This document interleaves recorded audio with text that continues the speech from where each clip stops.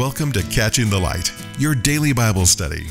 Join us as we discuss God's unchanging truth and show how it can be applied in our day to day lives. And now, here's your host, Kip Bradford, on Catching the Light. Welcome to this episode of Catching the Light. We're starting a new chapter today, chapter three of Acts. It seems like it takes a while to get there because uh, apparently some of us talk a lot, but We don't know who. We No don't know who. Well, uh, Gia, you- earlier we rec- we learned that your hus- your husband, yeah, your husband Alistair, your son My son, yes. we learned that your son Alistair took a test. And Yes. that test showed, and for those of you who are familiar with this program, we have Alistair's Word of the Day.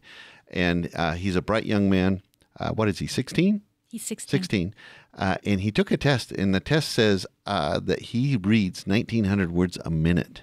Yes. That's crazy fast. It is. It is. Uh, It's I can speak that many, but I can't read that many. so, anyway, um, we miss Alistair. Uh, what's Alistair been doing lately? Well, he's preparing to sing in a show that is coming up this weekend, and uh, so he's excited about that. Uh, he sings opera. I don't know if you know that, but yeah, he's in a show, and um, he said, "I haven't really had a lot of time to focus on it, Mom, but."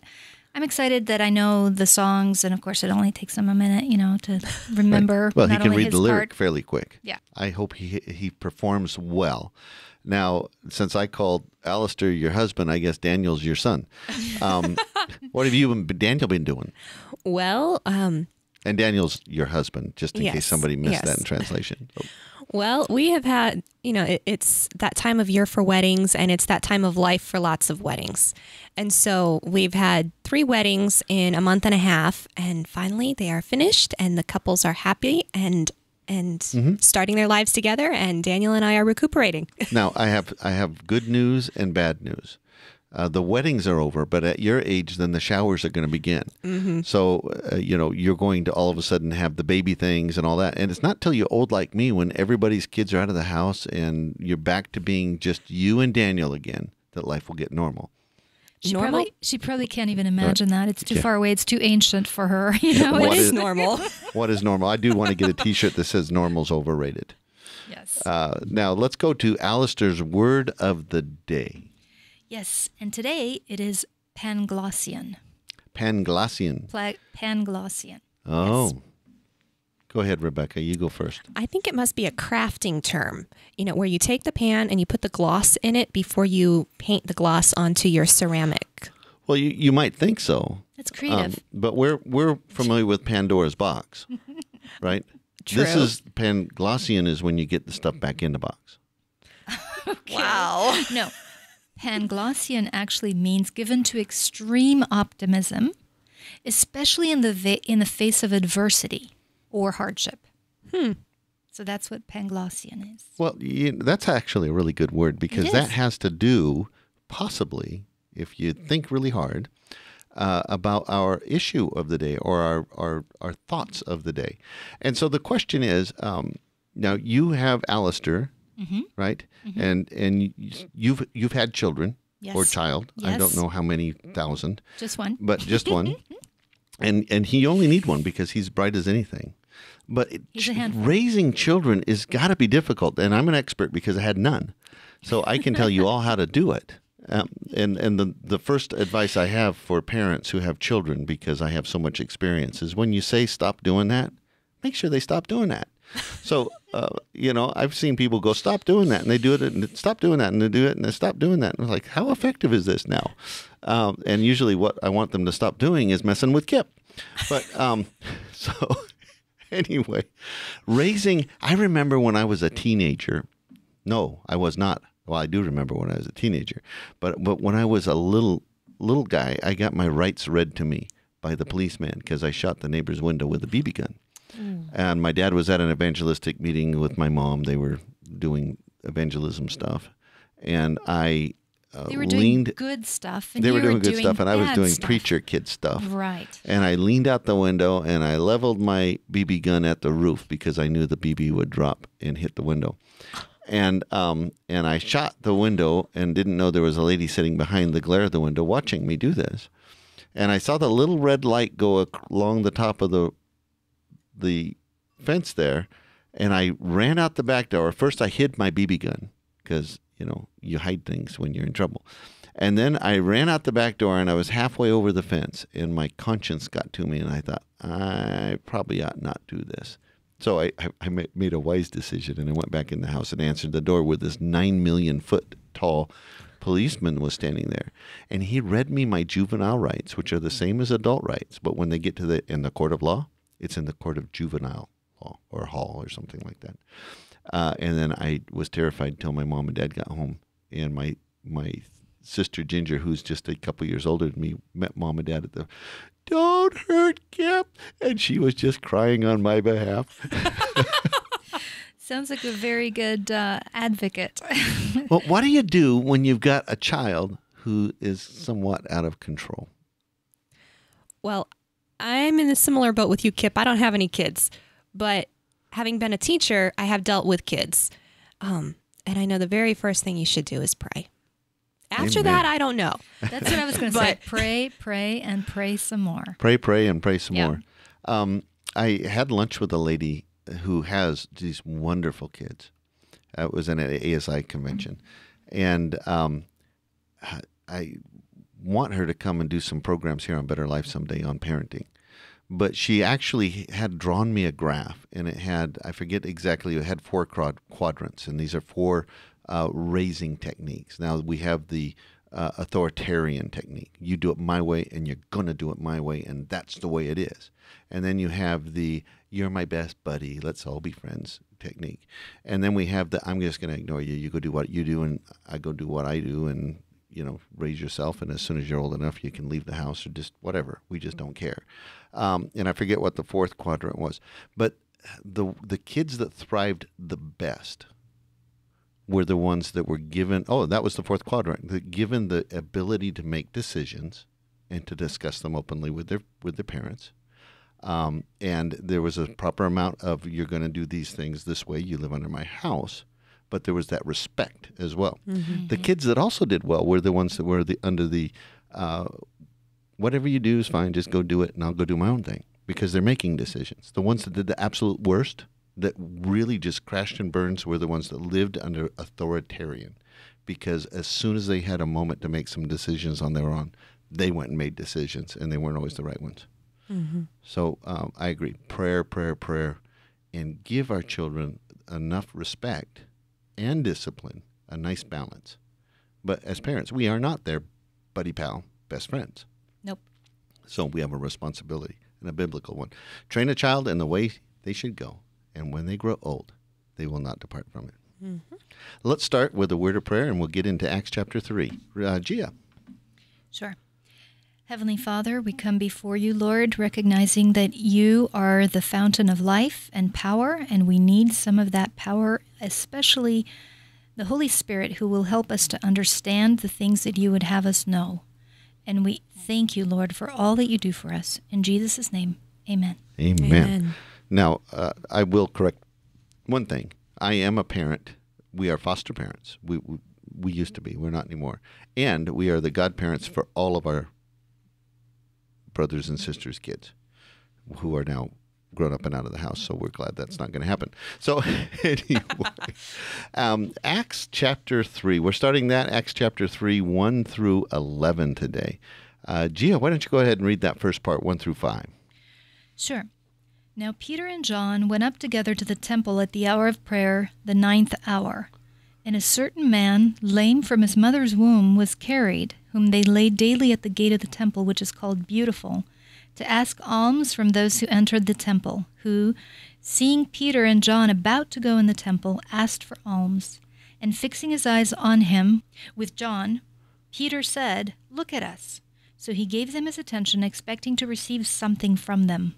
first let's let's look at what would the life of a uh, a lame person in those days be Mm, Very miserable. limited. Yeah. right did they did they have um, They didn't have special chairs, probably, you know, no fancy writing vehicles that had electric gadgets and wheels and things. So, right the only electricity that was existed was lightning yes. and nobody wanted that um, how about how about uh, socially um, Outcasts. yeah did did did the people of the day have uh, social services? Mm. Was No. there a department that was going to help take care of the lame guys and the No. sick folks? No, and also you had the the mentality of the Pharisees and the rest of Israel that people who were not perfect, who weren't rich, who struggled in some way whether physically, mentally, financially, that they must have done something to cause God's disfavor. So this lameness would have been looked at as a sign of God's displeasure with this with this man. Now, where are the disciples right now? They are on their way to pray. Yeah, but Two where are they? Oh, look Oh, on a map. Jerusalem. Let's look on a map, find out where they're at. You know, where's Waldo? Would it be reasonable to think that this lame individual had never heard of Jesus? I think it's possible, but highly unlikely. Right. I mean, the scripture doesn't tell us that he knew who Jesus was. Right. Uh, I have a hard time imagining that people in that region, let alone just in Jerusalem, had not heard of Jesus and the miracles that he had performed. And he'd just been killed not that long before. Right. I mean, we're And all talking Jerusalem had been in an uproar. 50 some days, right? So, um, would it be reasonable to assume, you know, and this isn't a, a biblical statement, this is just processing this lame man's desires.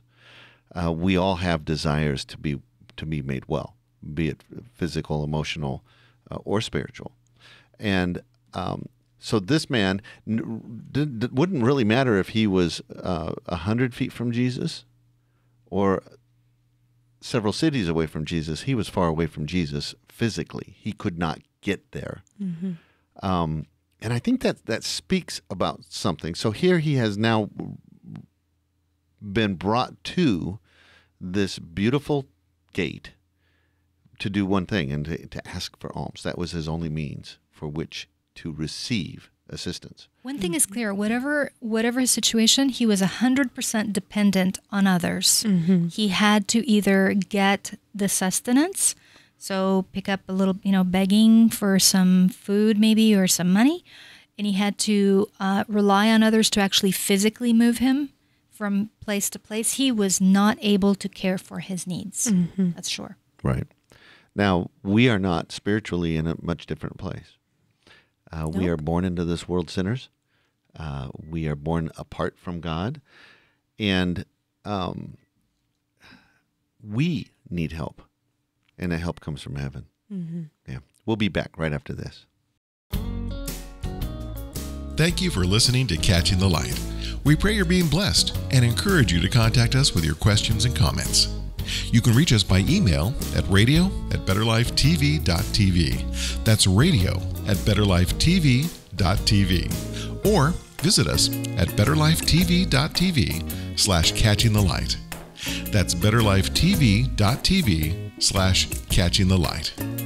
Or simply call us at 541 474 3089. It's our sincere desire that you'll be blessed while studying the Word of God with us here on Catching the Light. Catching the Light is listener supported. To become a financial partner, visit our website or write to us at P.O. Box 766, Grants Pass, Oregon 97528. That's P.O. Box 766, Grants Pass, Oregon 97528. Well, welcome back to this uh, episode of Catching the Light. We were talking about the lame man and what, possibly what his uh,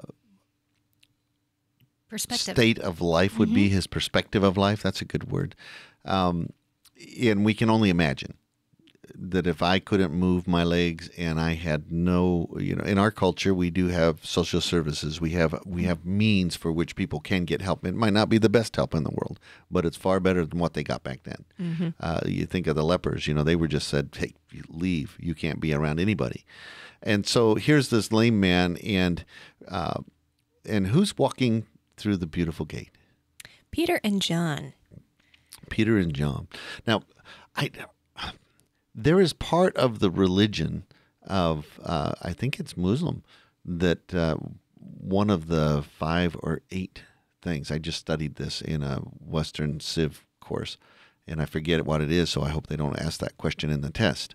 But one of the things it was making a trip to Mecca, uh, daily prayers, There were there were five or six things or eight something like that that they were supposed to do, and one of them was to give alms to the poor. That was a requirement, and I think that it probably stemmed from some of this history and the cultural things. So that's where they would do that because people would come to the temple, they would take what they had and they would give that. That is biblical. Uh, over and over again in the Old Testament, it talk, talked about giving to the poor.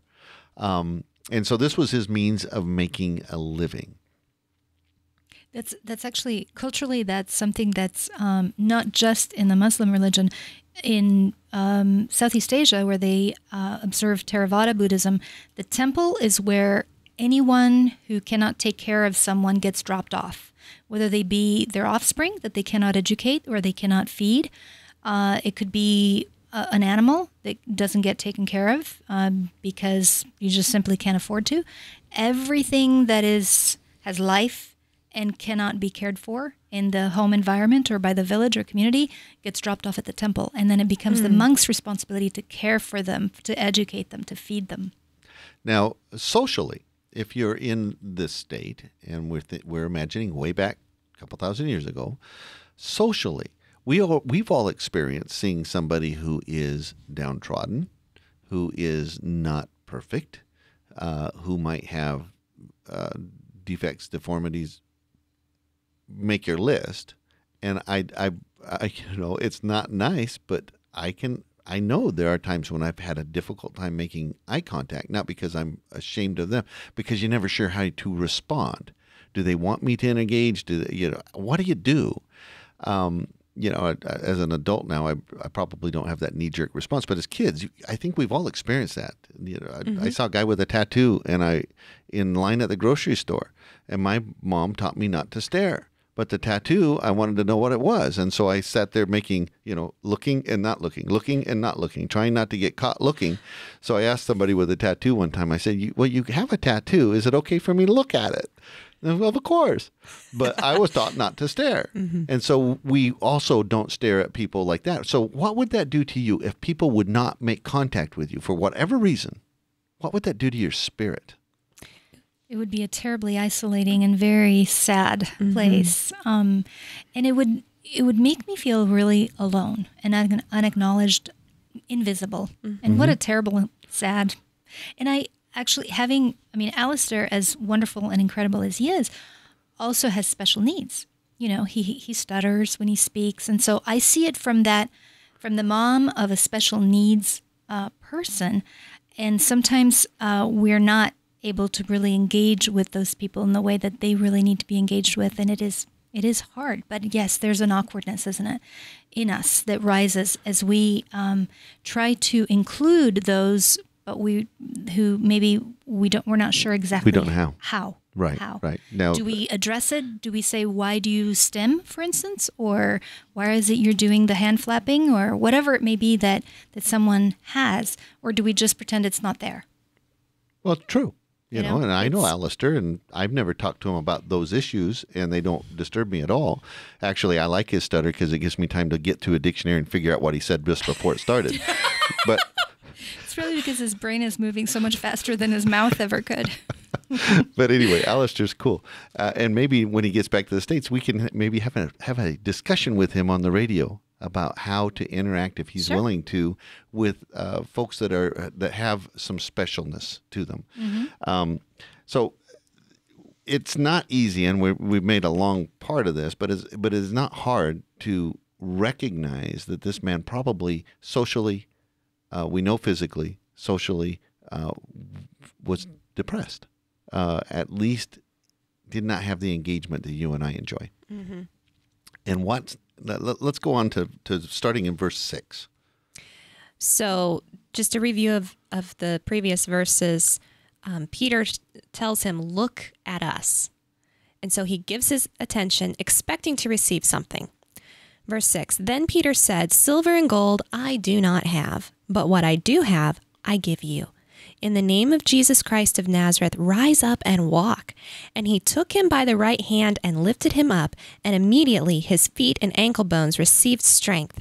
So he, leaping up, stood and walked and entered the temple with them, walking, leaping, and praising God.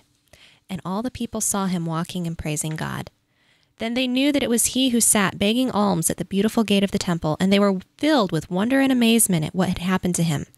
Now, as the lame man who was healed held on to Peter and John, all the people ran together to them in the porch, which is called Solomon's, greatly amazed.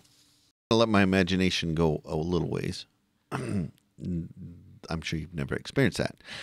But um, it would seem that the people were familiar with this gentleman. They must have known who he was. Yes. Because I can be a skeptic. You know, you see faith healers and they never heal anything you can see. It's always something you can't see. You know, so now you can talk and you couldn't. Uh, I can fake that. And so being a being a uh, skeptic sometimes when you see certain things happen, then you question it. But this crowd didn't seem to be questioning it, which means that they were familiar with the daily uh, activity of the, this, this lame man being brought to the gate of beauty, and they knew for a fact that he was truly lame. That's a testimony. That's one of those signs that brings other people to, to Jesus to, to recognize there's something here, there's something real.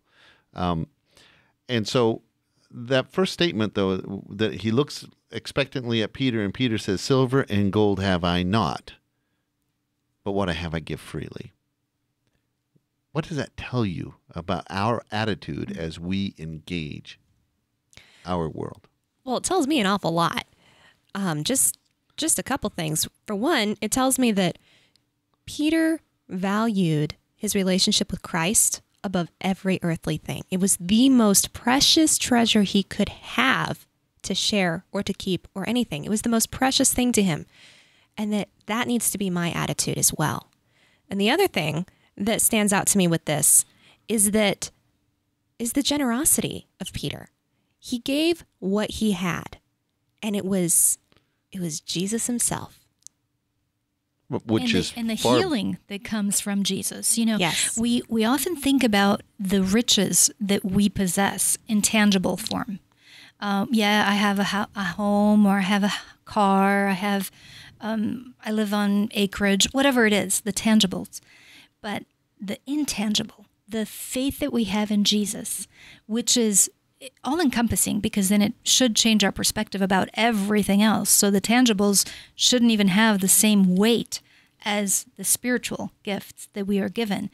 But um, it's so inspirational that you know he says, "I give to you freely," and and that desire to share and to change someone else's life in the same way that his was changed is another th- gift that only comes from the Holy Spirit. We don't have that naturally, do we? I, I don't. I didn't. Um, I used to hear uh, Christians speak, and I used to think, "What is that? I- Phonies? You know, really?" And really, I, I'm sharing what I what I used to really believe. But when it was given to me, it changes my entire it changed my world and i want to share it now you know i want to talk to people and, and tell them what a gift the lord did in my life and i want to share it with them Yes. Well, I, and Rebecca, the person over here that I almost forgot the name of, um, uh, really hit on it as well. He said he gave he gave this lame man Jesus. Uh, it is so common sometimes, and and that's one thing that folks they go, oh, Christians speak, because there are opportunists in this world who will take advantage of the fact that I can I can speak well and draw people to me and fleece them. And we know there's going to be that, and there there are instances, many instances where that has happened. Um, you know, if you see an evangelist who lives in a ten million dollar house, be suspicious. you know, because Jesus, who owned every cattle on the hill, the entire universe had no place to lay his head. he was homeless yeah So, uh, by their fruits you will know them. But uh, Peter does not speak of himself at all. He says just what I have, and then he gives all the glory to Jesus. He said, "This is this is the one who is raising you in the name of Jesus Christ of Nazareth." And this is Peter. This is Peter. This is Peter. yeah, This my man, This is open mouth insert foot Peter. my man. But but he didn't have to insert his foot this time. And then I that next little part there, and he took him by the right hand and lifted him up. Yes. Uh, what a wonderful thing that we can do is to physically and appropriately touch others. he wasn't afraid to touch the guy that the Pharisees and leaders had said was was under the displeasure of God. He wasn't afraid. Yeah, it, it gives us the example that we need to sometimes take someone by the hand or walk along with someone or really get so close that we are touching their lives in a in a real way. Sure, sure. Um, It is. Uh, I remember my dad t- putting his hand on my knee one day while we were driving his little blue Toyota, and he just squeezes it gently and says, "Kip, I'm proud of you." And I remember that to this day. I remember people that I've worked around, um, who might have been in authority, just put their hand on my shoulder and say, "Good job." That physical contact is so important. And they've done tests where they say if they don't touch a baby, it'll just roll over and die. We need others in our, our life. That's why Jesus came to this world to be God in the flesh and touch you and me. And you see um, in verse 11 that he's he's been healed and he's still holding on to Peter and John. And so even after that healing, he still needed their support. And sometimes support takes the form of physical touch, but sometimes it's emotional instead of physical. It depends on the person and the situation. But regardless, the support of church family is vital to growing more like Jesus. Oh yeah, and and not only to be. I mean, I, I think maybe we need to make, define that a little more. We can go to the building called a church mm-hmm. and still not be part of the family. It's true. We need to be open and honest with our issues. We need to be able to say, "Yeah, I talk too much, and I talk too much about other people. Pray for me." We need to be open and honest enough that we've harmed somebody and and go to them and say, "Please forgive me for that." We need to be open and honest enough to share our our issues in a safe environment. We you know we know which ones not to share them with, um, but family needs to support each other. And I deny you the privilege of praying for me when I can't tell you I need prayer. We have uh, just a few seconds left, and I, I want, Paul in Galatians uh, chapter two, he says they desired only that we should remember the poor, the very thing which I also was eager to do. We need to be eager to engage this world for the cause of Christ That's right. not just out of duty, but out of desire. Mm-hmm. We'll talk to you next time here on Catching the Light.